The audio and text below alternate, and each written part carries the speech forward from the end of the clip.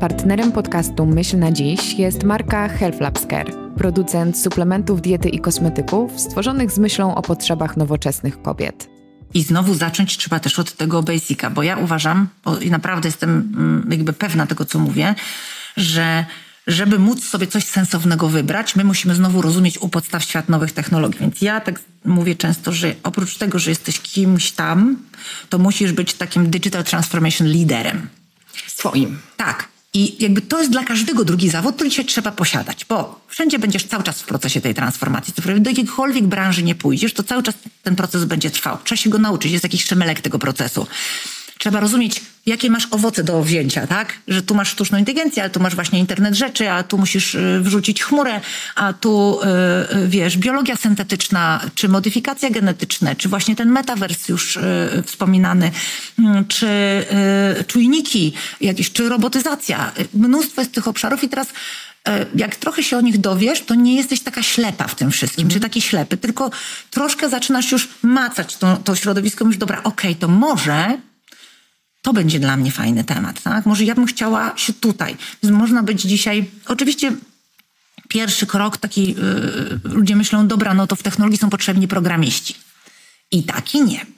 Bo zawód programisty dzisiaj jest bardzo wysoko w, w, właśnie w poszukiwaniach yy, w firmach te wszystkie software house'y, zawsze się śmiejemy, że już mają wszystkie możliwe benefity, że pracownik software house'u przychodzi do pracy i mówi, och, tutaj nie ma tofucznic na śniadanie, to chyba długo nie zostanę, bo są już tak wysublimowani, bo takie jest zapotrzebowanie na nich, ale technologia też daje na to odpowiedź.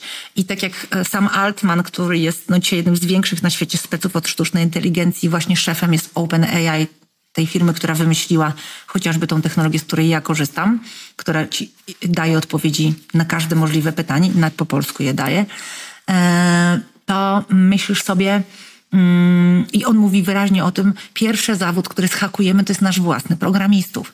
I dzisiaj masz technologię low code, no code, czyli masz takie jak klocki, jak klocki Lego, że masz takie większe kawałki tych klocków Lego, z których już łatwiej ci jest złożyć zamek, albo fosę, albo budynek, niż jakbyś miał pojedyncze klocki bez instruktażu, tak? Czyli dzisiaj właściwie ktoś, kto pracuje w HR-ach, w administracji czy w e, finansach, może już małą aplikację, mały projekt stworzyć z tych klocków, nie będąc kompletnie programistą. I ta technologia się będzie rozwijała, więc tych programistów nie będzie aż tak wielu potrzebnych.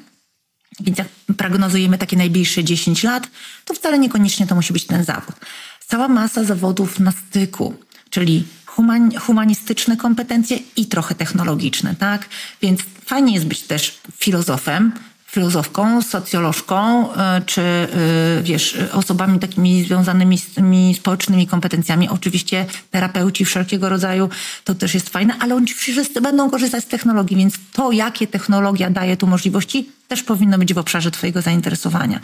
Więc e, no cyberbezpieczeństwo też trzeba mocno rozumieć, bez względu na to, jakim zawodem się będziesz zajmować, bo to jest realne zagrożenie, które musisz rozumieć, na czym polega, a ten human factor w cyberbezpieczeństwie, czyli najsłabszym ogniwem zawsze jest człowiek, musisz rozumieć, co klikać, czego nie klikać i tak dalej.